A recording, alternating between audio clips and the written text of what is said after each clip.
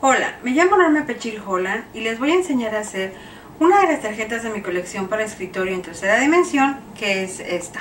Aquí se las puse con un fondo blanco para que la puedan ver un poco mejor, pero generalmente se pierde un poquito cuando está puesta sobre un escritorio, que finalmente esa es la idea.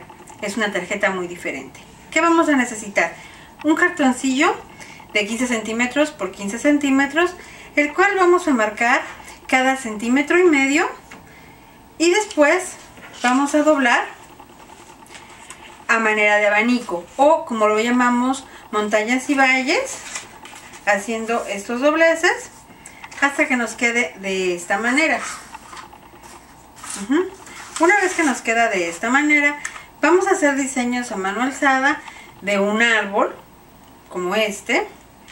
Y eh, depende de lo que celebren, si celebran Halloween o si como yo celebran una fiesta mexicana, podemos hacer una tumba, podemos usar confeti para hacer una muerte con sus flores, un fantasma o a lo mejor algo más americano como con una calabaza.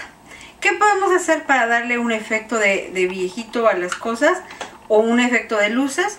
Vamos a usar una tinta blanca para con unos pequeños toquecitos hacia el papel darle esos efectos de luces y esos efectos que van a hacer que se vea un poco más misterioso.